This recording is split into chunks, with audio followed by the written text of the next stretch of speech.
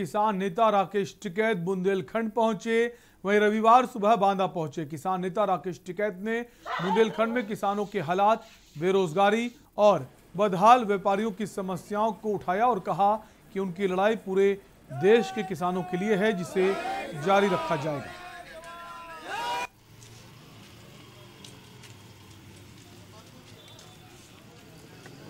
वीरपुर में एक प्रोग्राम है। उसमें जा रहे हैं, पब्लिक मीटिंग है। और ये पूरा बुंदेलखंड में आने की शुरुआत हुई है।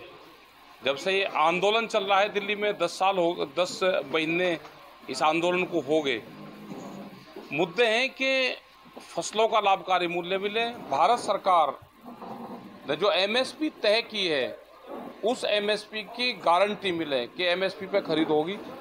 वो सरकार खरीद दे या वो व्यापारी खरीद? दे उससे कम पे खरीद नहीं होगी। मैकेनिज्म एमएसपी के रेट बढ़ाने का भी खराब है। जो भारत सरकार ने तय किया था इलेक्शन से पहले कि हम सी टू प्लस फिफ्टी वाला फार्मूला देंगे, स्वामीनाथन कमेटी वाला, वो नहीं दिया, बाज़ार भाव नहीं दिया। जो उन्होंने रेट तय कर दिया, उस पर गारंटी नहीं देते। और ये जो पूरी बेल्ट है, यहाँ से सस्ते में अनाज की खरीद होती है। यहाँ से बड़ा व्यापारी सामान सस्ते में खरीदता है किसान का और एमएसपी पे बेचता है उसको। ये एक बड़ा घोटाला है। अन्ना प्रथा यहाँ की एक बड़ी समस्या है।